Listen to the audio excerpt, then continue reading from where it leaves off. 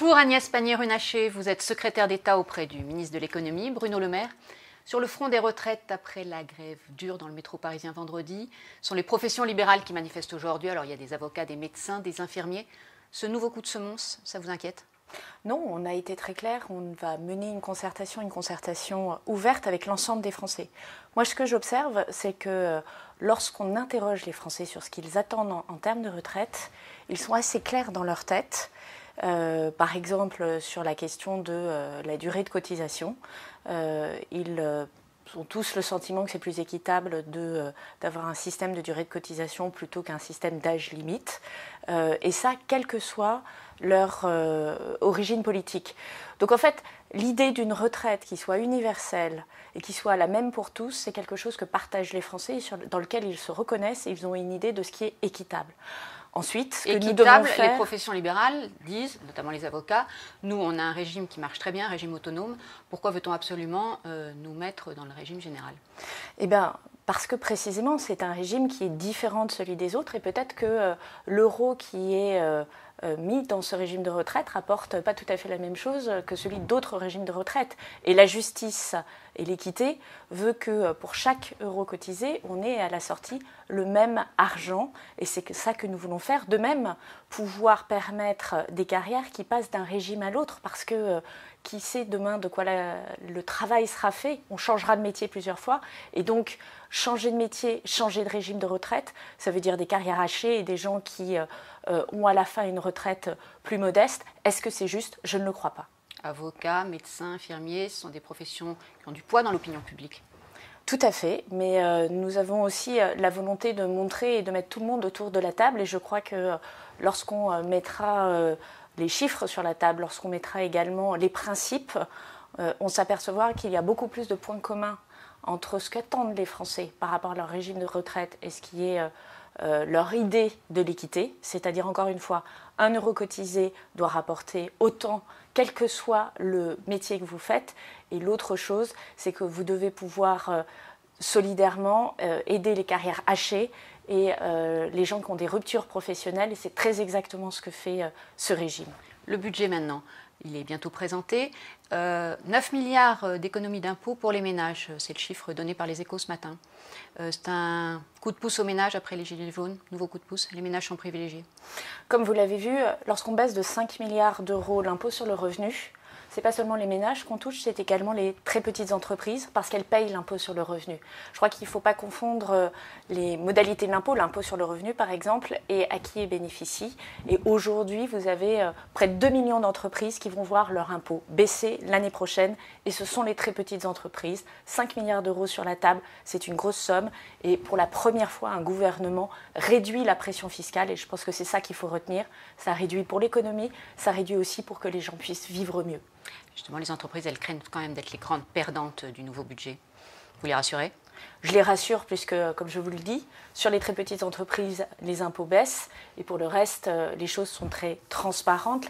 Les entreprises ont l'impôt sur les sociétés qui continue à diminuer et effectivement, nous travaillons sur des niches fiscales qui ne sont pas écologiques. Je crois qu'on essaye d'être cohérent dans notre euh, euh, fiscalité. Les entreprises nous disent souvent baisser les impôts et enlever les niches fiscales. C'est très exactement ce sur quoi nous travaillons, le fait que tout le monde bénéficie d'une diminution de la pression fiscale, mais ça veut dire peut-être arrêter avec cette passion française de la niche fiscale et de la mesure ad hoc pour tel microsecteur. Donc des efforts aussi pour les entreprises.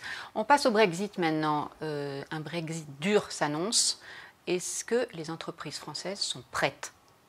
Les entreprises françaises sont pour l'essentiellement prêtes. Ce qui est important aujourd'hui, c'est que toutes les entreprises se saisissent du sujet et s'assurent qu'il n'y a pas quelque part un petit caillou dans la chaussure.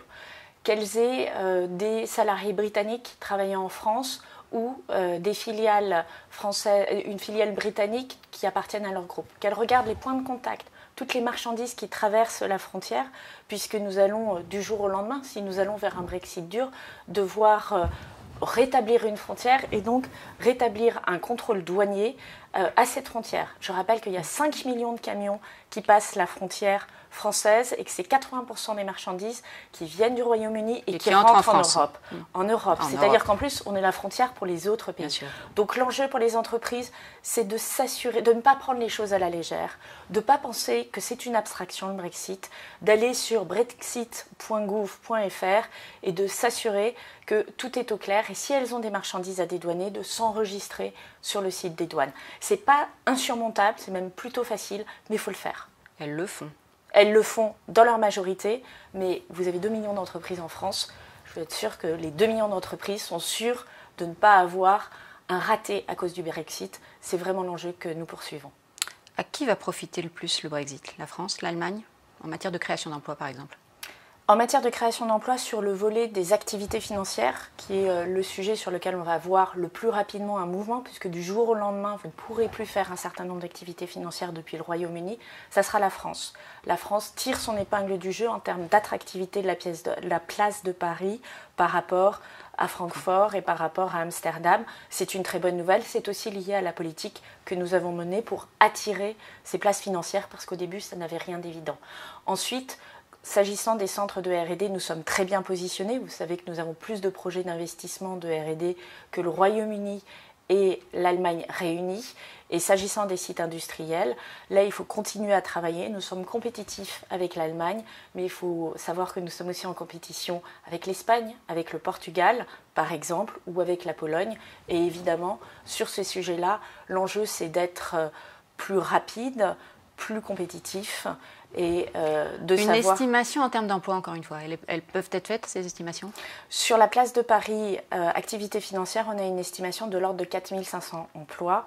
Sur les autres secteurs du jeu, industriel, RD, euh, les estimations à ce stade ne sont pas très précises pour des raisons évidentes. Ce sont des phénomènes qui vont prendre plus de temps et qui dépendront aussi de la nature de la relation future avec le Royaume-Uni et du contenu de l'accord de libre-échange que nous signerons avec eux. Un autre de vos chantiers à Bercy, c'est la reconquête industrielle. Euh, on parle pourtant de fin du modèle allemand. Alors est-ce qu'il faut continuer à réindustrialiser la France? Oui, bien sûr, il faut continuer à réindustrialiser la France parce que l'emploi industriel crée des emplois induits dans les territoires, c'est-à-dire pas dans les agglomérations. C'est une façon de remettre de la richesse dans des zones qui sont un peu plus éloignées des centres économiques puissants portés par les services. Et puis, L'industrie, c'est aussi de l'emploi qui paye mieux que les autres secteurs d'activité et c'est de l'emploi durable, contrairement à, ce que l'on pense. Euh, la transition écologique énergétique, elle va se faire dans l'industrie. La transition écologique énergétique, c'est comment on produit autrement. Ce qui veut dire qu'il faut continuer à produire et on a, de manière plus On a des atouts en la matière.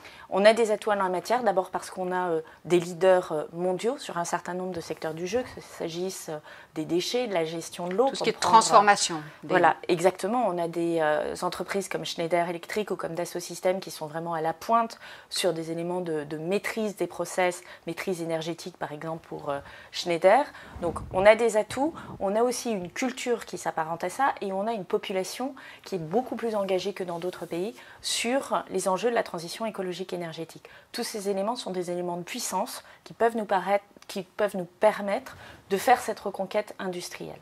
Le pacte productif, euh, vous faites un bilan à la fin du mois. Ça a été lancé avec objectif plein emploi 2025.